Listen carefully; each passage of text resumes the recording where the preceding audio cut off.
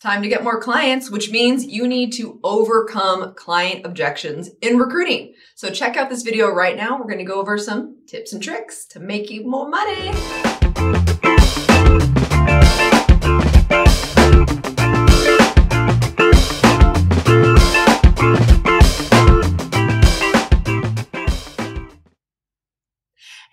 Welcome to the Millionaire Recruiter. I'm Brianna Rooney, your Millionaire Recruiter. If you have not seen this channel before, it's all about upping your game in the recruiting industry and, well, making you the next Millionaire Recruiter, right? Okay, so if you get this client on the hook, you're excited, you had the call, and then now they don't want to work with you.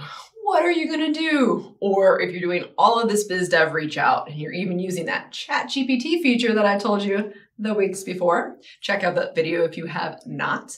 Um, but they're still saying, thanks, no thanks, uh, we've got plenty of help, um, you know, whatever their objections is. How do you combat that? How do you overcome it? How can you make these your clients?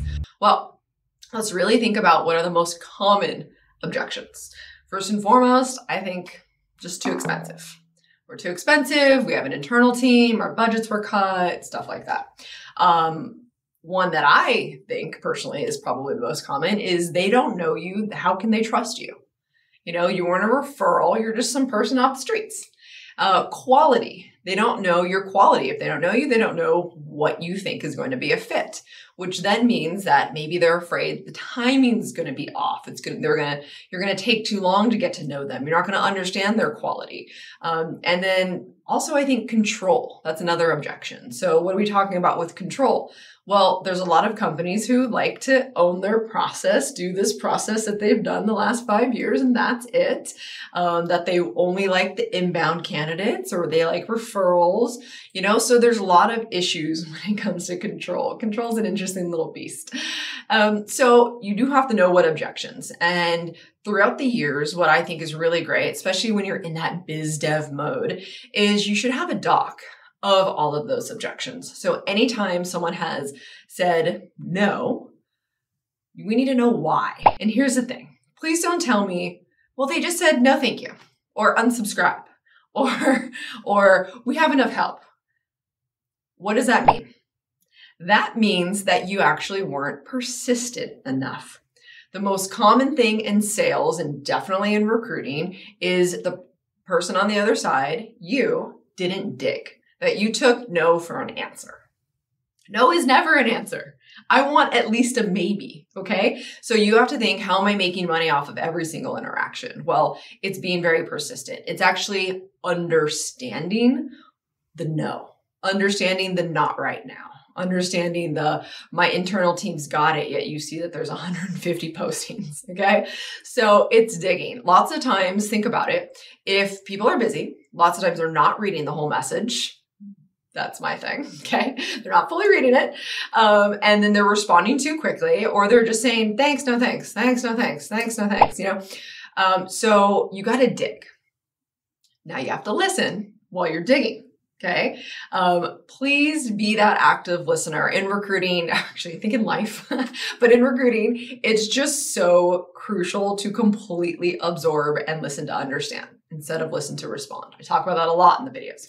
So um, you you want to hear what the problem is, or what I like to do is say, hey, you're not interested. Even if they said just thanks, no thanks, you're probably thinking, where do we go from there? Will you start the conversation up again? You start asking questions. That's the only way to keep the door open. So I'm going to say, oh, great. So are you ahead of your hiring goals this year? The response is no. Okay. So are your is your internal team handling every single role for you? No. Or you could say, "Hey, are there any what is your, what are your most important roles right now? What roles for your organization are going to move the needle the most?" So all of those things are really thought provoking. So depending on what they say back, that's when you're going to be able to attack a little bit more.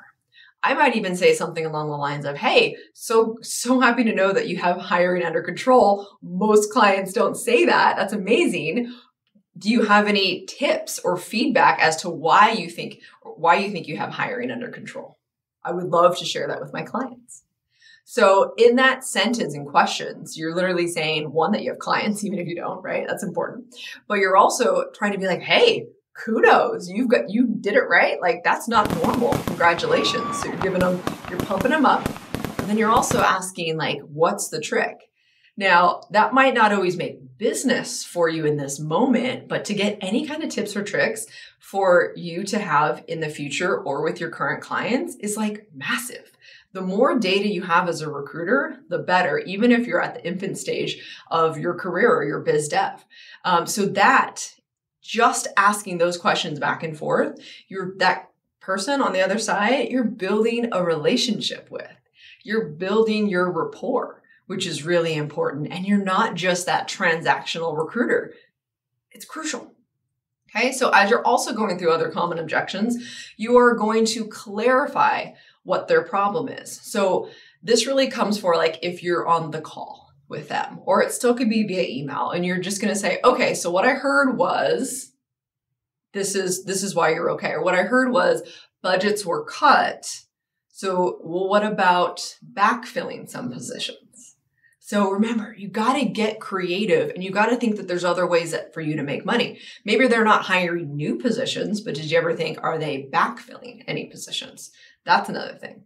Um, another great way that you can combat objections in recruiting is sharing testimonials. Explain different scenarios like, hey, you know what? I had a client that did XYZ, or hey, my client filled these roles faster with me. Here's again, it's data. Evidence is crucial. And that's how you can really build trust pretty quickly. Okay. Um, and then really, let's not forget, I'm going to go back to it. I talked about it a little bit uh, earlier on, but being persistent. A lot of people will stop at the no. So how do you keep going? Where do you find value? So you're going to look to see, hey, this person got back to me, which means they took that, which means they'll get back to me again. So how am I perhaps going to make money off of that interaction? Are they looking? Do they know someone that needs help with hiring? Um, you're going to see kind of like the little breadcrumbs, the little mini breadcrumbs. Um, but really, you're going to also ask for the sale. You're going to say, look, I'm a contingency recruiter, which means I don't get paid unless I give you what you want and what you need. I'm results driven. So I don't think that there's any harm in me sending you this resume who I think would be a really great fit for your organization. I'm going to do that. Let me know if you feel the same way. I didn't ask for permission. I just told them what they were doing. So, what the reason why I think I have been pretty successful in this industry is because I ask for forgiveness, not permission. That's crucial. Um, I'll tell a really quick story and then I'll let you go and let you get back to your, you know, getting grabbing those clients. But uh, someone the other day sent me a LinkedIn message, which by the way, when you subscribe, when you comment, when you send me messages, it just fuels my fire and I get really excited to do these videos every week. Um, so please keep doing it and thank you. But this person sends me a, a message and says, Hey, do you mind if I ask you a question? Don't do that. Okay, there's so many things wrong with that. Um, the do do I do I mind first of all, that's so passive. That just shows me that this person has not a sales bone, recruiter bone DNA in their body. Okay. So, first things first, I already know they're very, very great. And why ask me? A, I mean, that literally was asking me a question already. So, why not just be aggressive um, and ask me the question? And actually, that's not even being aggressive. That's just being a human being. Like, just you have a question for me, ask it. Do I always get back? Hopefully. Sometimes it takes me a while. I do get a lot of messages, but I will get back. Um, but also, again, on the other side, what we just learned is you have to be persistent. But if you want something, ask for it, go after it, demand it. You know, I said two words in here that aggression and demand, which normally feels like a, a negative, but flip them and make them a positive. So then be assertive, know what you want, be confident. Change it like that in your mind if those words go, ah, but a lot of the time, those words means you are very successful and you are really good at what you do. So even if you just entered the recruiting world a second ago, doesn't matter.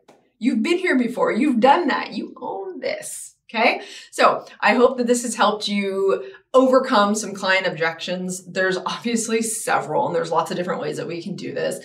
And really, this could probably even be a share screen, you know, be a, uh, just showing what messages to show. So I'll get you there. I'll get there. Uh, but I would love if in the comments below, put some common objections that either you've combated or you need help with. Because remember, as I pay it forward here in the Millionaire Recruiter YouTube and on the Talent Takeover Unfiltered podcast, all of these things matter. So help pay it forward to our industry as well. And I will see you every Thursday. So don't forget that money is just a vessel to do all the amazing things you want to go do in life. Go live it, have fun, rock recruiting.